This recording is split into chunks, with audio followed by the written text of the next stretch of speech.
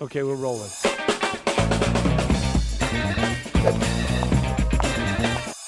Hey guys, welcome to City Soles TV. I'm your host, Scott Starbuck, and we're doing how-to series of a ton of different things here. But one thing a lot of people have problems with is how to get on tall boots. A lot of, you know, a lot of boots that don't come with zippers, that don't have any uh, way to tighten or loosen them. They're really hard to pull on in the instep and in the heel, especially when they're brand new and you pull them, it takes hard, it's really hard to pull them on, and then also it's really hard to pull them off. This is uh, a staple and a classic problem with um, cowboy boots specifically, they, you know, pop them on and then they're real hard to get pulled off. So um, one trick that we have, and I, have used this a ton, um, just trying to get on shoes in the store, is the plastic bag. You may have a Jewel or a Dominick's bag or a grocery store bag, Safeway bag around the house.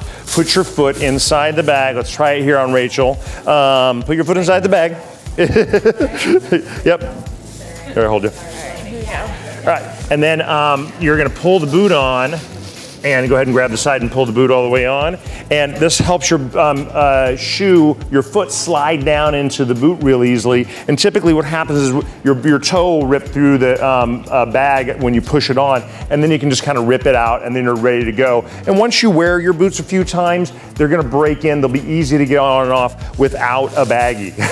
but it's a good trick, it reminds me of when I was a kid and your mom used to have you put baggies on your shoes when you used to go back out in the snow and play because you didn't have any like waterproof snow boots or all you have is like rubber rain boots and uh, uh, you were just out in your hiking boots or something and you still get wet so you put a, a, plastic bag on everything still got soaking wet you still froze but you know was, they, they, tried they tried to make us survive and somehow we lived so but that's the tip of the day plastic bags to help slip your boots on rip them out. It helps your boots go on and off, and it'll help you on those really hard boots to get on. Eventually, you'll break them in. You won't need the plastic bags anymore. And, you know, we got to do something with all these plastic bags in the world, so this is a good tip. So remember, if you're going to kick ass, you need kick ass shoes. Thanks.